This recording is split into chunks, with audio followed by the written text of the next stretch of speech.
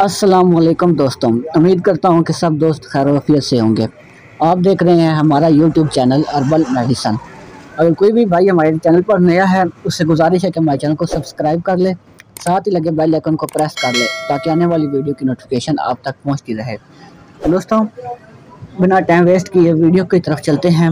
आज हम जिस मेडिसन का रिव्यू करने जा रहे हैं, वो कृषि कंपनी की जवारिश कमोनी ये एक मजून है। इसको मुख्तलिफ़ कंपनियाँ बनाती हैं। तकरीबन सब के नुस्खे सेम ही होते हैं और सेम ही फ़ायदेमंद होती है। तो आज हम जिस मेडिसन का रिव्यू करने जा रहे हैं, ये कृषि कंपनी की प्रोडक्ट है। बहुत ही मशहूर कंपनी है, पाकिस्तान की कृषि कंपनी। तो दोस्तों, इसके फ़वाद की तरफ़ चलते हैं। तो ये निज़ाम इंज़ाम के लिए बहुत ही ज़बरदस्त मेडिसन है।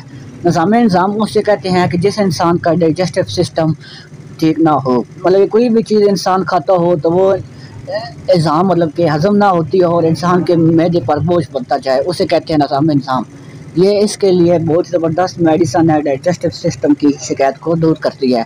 इसके साथ साथ जो हमारे मैदे के साथ साथ जो बीमारियाँ होती हैं, मिसाल के तौर पर खट्टी बिकारी हो जाएँ, इसकी की शिकायत होती है, कब्ज़ होती है और इसके साथ साथ आपके मुँह से बदबू आती है, अजीब किस्म की।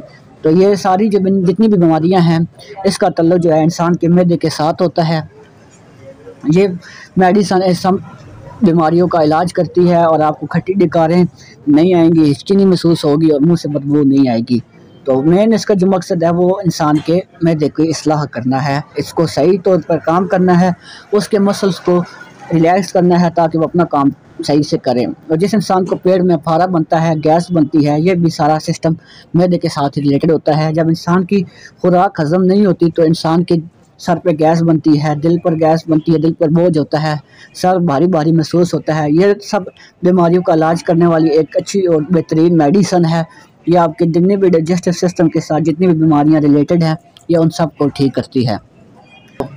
इसके आगे फिर तरकीब इस्तेमाल की तरफ़ चलते हैं कि तरकीब इस्तेमाल ये है कि आपने इसको सुबह शाम खाने के बाद खाना है मतलब कि चौथाई चम्मच। चम्मच का चौथा हिस्सा मतलब कि एक आधा हिस्सा होता है उससे मतलब कि सवा हिस्सा ऊपर चौथाई है। ऐसा आपने खाना है चम्मच का।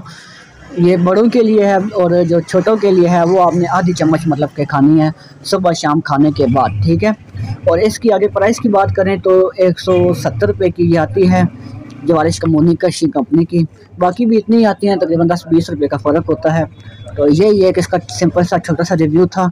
उम्मीद करता हूँ ये वीडियो आपको अच्छी लगी है। अगर वीडियो अच्छी लगी है दोस्तों चैनल को सब्सक्राइब कर लें और वीडियो को लाइक कर लें दोस्तों तक शेयर कर दें, ताकि आपके एक शेयर वजह से किसी दोस्त की बीमारी हल हो सके। मिलते हैं नेक्स्ट वीडियो में। मुझे इजाज़त दें और अपना ख्याल रखें। अल्लाह हाफिज़।